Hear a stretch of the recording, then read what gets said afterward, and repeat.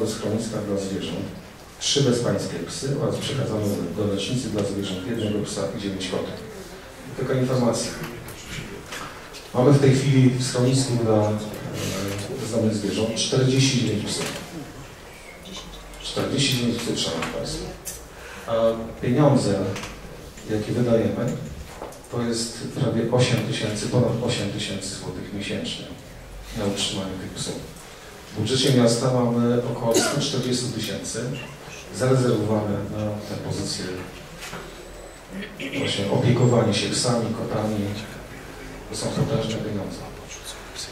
47 tysięcy. Ja tu podkreślam, że tacy problemy.